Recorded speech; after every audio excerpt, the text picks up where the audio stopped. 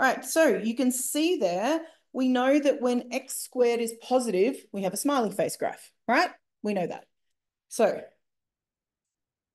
so when x, no, that was me getting a message because I've clearly left something open. So when x squared is positive, we have a smiley face graph. When x squared is negative, we have a frowny face graph, yes? Yeah. So that means this has a minimum turning point. Remember we did turning points last year? So if it's a smiley face graph, it has a minimum turning point, which means if it's a frowny face graph, it has a maximum turning point. Now, I have told you this before, and now we're finally going to use it. We have been working on how to get the coordinates of the turning point. Now I'm just going to show you the things that you already know how to do. Now, a reminder as well, if you turn over to page 18, that it talks about your discriminants. So it's got some visual things about whether you have two distinct or two real roots. Um, Two roots is when obviously you've got two x-intercepts. Then when you have one repeated root or equal roots, you need to get used to both versions of the words. It just touches it like that. And with no real roots, it looks like that. So what we have also been doing is completing the square, right? So if we're asked to complete the square, let's just do one of those, okay? And then I'm going to show you exactly how it's useful because we haven't been using it yet. So let's say I do x squared plus 8x minus 1. All right, let's complete the square. What do I get? Okay, please don't skip steps just to make sure we're all following what's going on. I get what you're doing. 8x. What? Plus 16 minus 16, right? Because 4 squared is 16. All right, so then I know you were all skipping to this step, which is excellent. I'm very happy you can do that. Okay, so we've completed the square.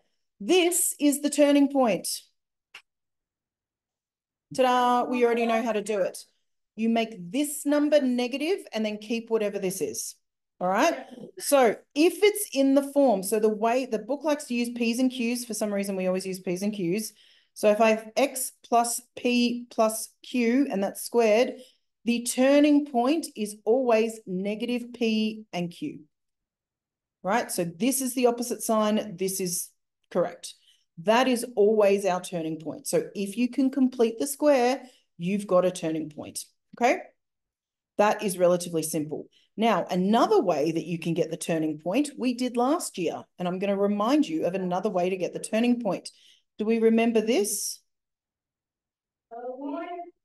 Negative b over 2a, that got us our axis of symmetry. Remember we were looking for that last year? So if I did negative b over 2a, what do I have? What's negative b? And what's 2a? Which is? See how it's negative 4? Same thing. And then if I want the y coordinate, I just substitute it back in here and you would get negative 17, unsurprising, right? This is 16 minus 12 minus 1. Well, that doesn't work. 16 minus, oh, 32. 32 minus 1 is negative 17. So that works, right?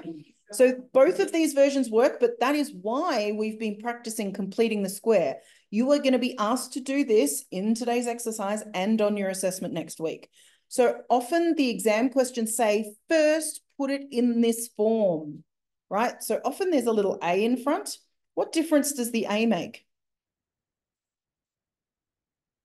None, right? It makes no difference whatsoever. It might be the difference between this answer, where these are the solutions, and this answer, right? So either way, the solutions are the same. You've just got a different turning point, which would mean your turning point is different, but this A makes no difference whatsoever to whatever's going on. It's basically taking out a common factor. It stretches the graph without swapping the solutions, okay? So this A doesn't make any difference to how you answer this bit. Okay. What? Crikey, mate. All right. Uh, let's just save that. Okay, uh, so what I'm going to do is some examples of how to actually read this stuff. Okay then you change the sign. So Yeah, so you just change whatever sign is in there. Mhm.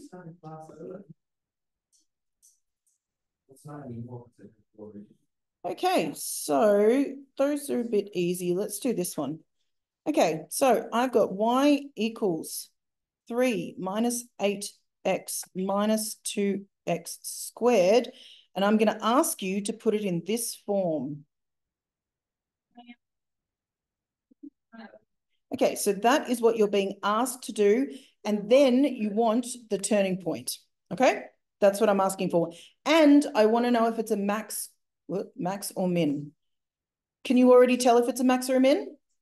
How do you know it's a max? Because it's negative, right? This is a frowny face graph. So we have a maximum. All right, so let's work on putting it in this form. What should I do first, do you think?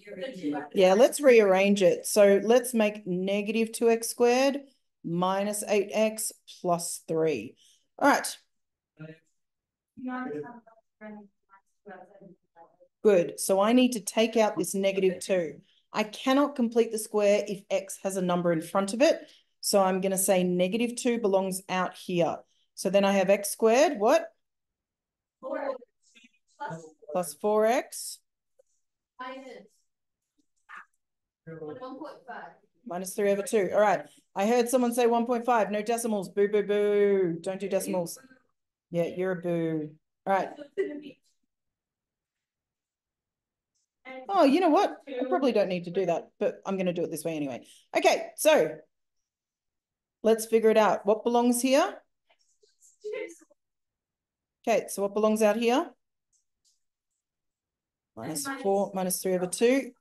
Okay, so let's keep going. I do have to put it back in. So if I have x plus two squared, what's this?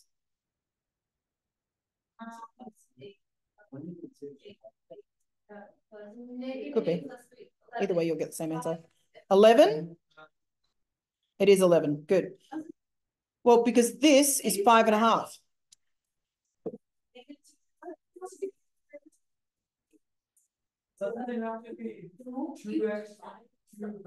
This is 8 over 2, right? 8 minus 3 is negative 11. Negative 11 over 2. And then I have to multiply it by negative 2. So that cancels out the bottom. So I get 11.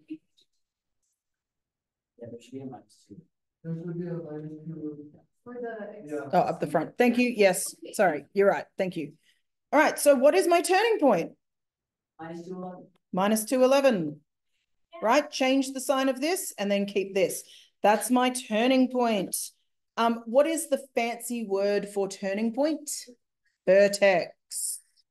Right, vertex just means corner, right? So this is the point at the graph in which it turns around again.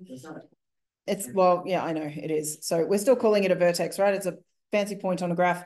Vertex is what the turning point is. So the book is mainly going to ask you for vertex vertices, if you want a plural. Say it again.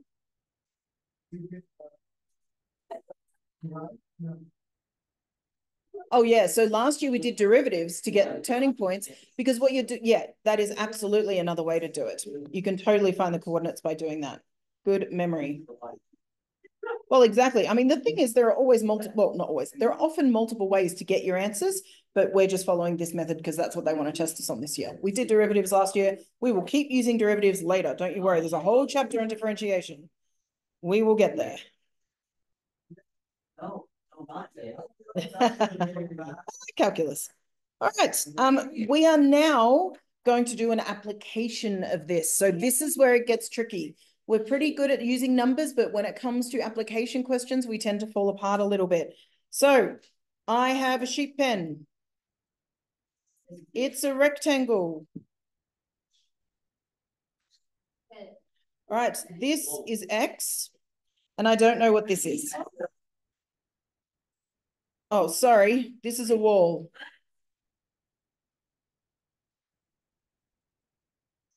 I don't know what's happening to you. All right, guys, focus. So I have a sheet pen. These both are X length, and this is something I don't know. Let's focus, people. All right, so what I'm telling you is that I need, I've got 40 meters of fencing. Okay, so I've got mm-hmm. three sides. Two of them are X, one of them is something. I have 40 meters. So what I'm saying is, what is this length here? Is there supposed to be extra space? I'm rubbish at drawing, leave me alone. If these are X, what is this length? Why?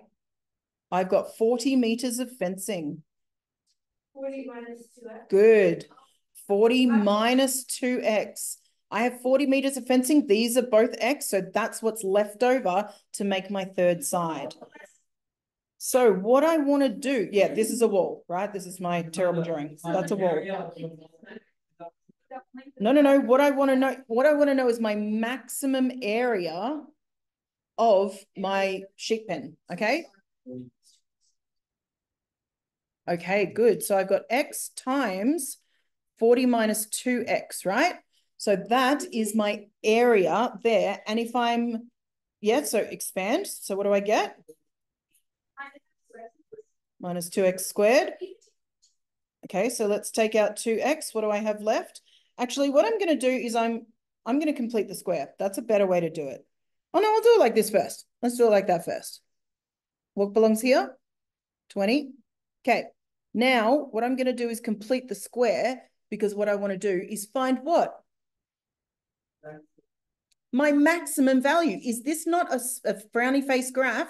And this will be my maximum area. So if I get my turning point, that will give me the maximum area of this particular question. Do this, they have to give you the negative X. Yes, absolutely. So that's a really good way to think about it. If it was a smiley face graph, you'd always have a minimum. So if they're asking you for maximum values and you don't have a negative x squared term, you've probably done something wrong. Yeah, that's a really good way to think about it. So if I have negative uh, 2x and, oh, sorry, actually, I should never take out that x. Why should I not take out the x? Because then I don't have a quadratic, right? And that's the whole point of what I'm doing. So let's take out the negative 2 and leave it all back there. So I get x squared uh, minus 20. All right, so let's complete this. 20x, thank you. Yeah, no, no, no, because I've left the x in. So I got negative 2. What does this become? X, what? Is that right? Yeah, it's minus. Thank you. Ah, okay, good. So x minus 10 squared, what happens out here?